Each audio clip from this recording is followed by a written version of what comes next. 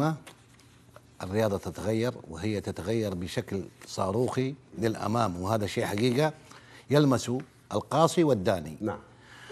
أنا يعني ألاحظ في كل فترة هناك تطور وهناك تنوع وهناك تجديد.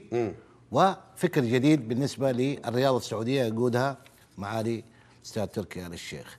هذا العمل حقيقة يعطينا انطباع أننا نحن خلال الخمس سنوات القادمة سنكون إن شاء الله من أفضل الدول ما هو على قارة آسيا يمكن ننافس على مستوى الدول الأوروبية.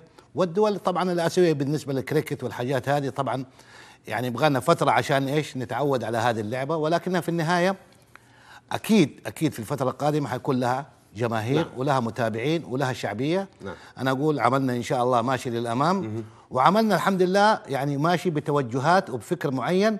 يعني ما ننسى ما نركز كل شيء على كرة القدم. لا في تركيز على كرة القدم ولكن في تركيز برضو على ال- الاتحادات الأخرى والرياضات الأخرى. وهذا حقيقة يسجل لل- لل- ل- لمعالي رئيس الهيئة. حقيقة يعني كلنا يعني سعيدين بهذا التنوع وهذا الفكر الجديد وهذا ال- العمل الحقيقة الاستراتيجي. ال- ال- واضح انه هناك في فكر متجدد. والشيء اللي عجبني أكثر حقيقة اختيار نواف الطمياط نائب الرئيس الاتحاد. رجل ولد ملعب زي ما يقولوا له حقيقة كاريزما وقيادة. أتمنى له التوفيق واتمنى اتحادنا بإذن الله التوفيق الدائم. على هاشتاجك ش... على الهاشتاج أو مش على هاشتاج في تغريدة من الزميل علي الزهراني ال- الصحفي المعروف يقول قريبا إنشاء نادي للبولو في المملكة والبولو في الرياض بدأ في نادي ديراب